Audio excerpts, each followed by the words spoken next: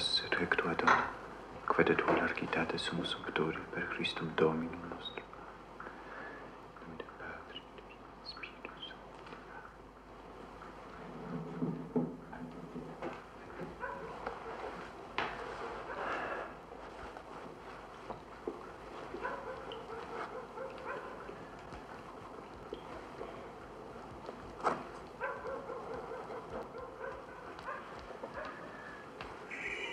Mój Boże, ale ojciec Sienko sobie chleb kraje niczym panna marcypan.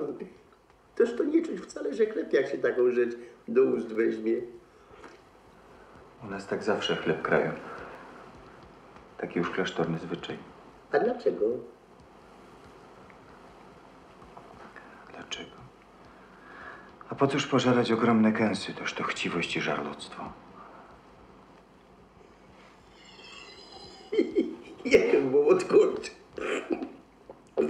Święty Wołodkowicz.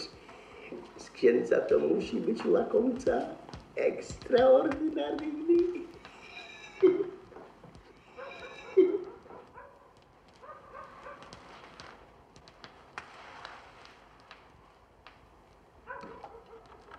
Zapłać.